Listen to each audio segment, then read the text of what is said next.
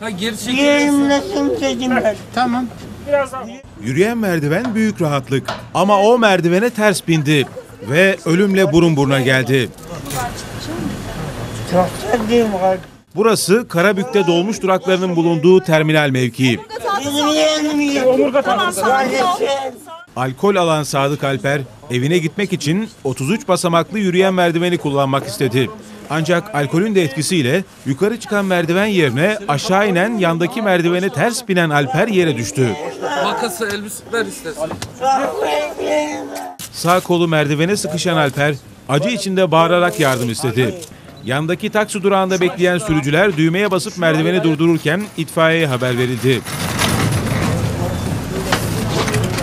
İtfaiye ekibinin çalışmasıyla Alper'in kanlar içinde kalan kolu kurtarıldı. Olayla ilgili soruşturma başlatıldı. Olsun diye mi?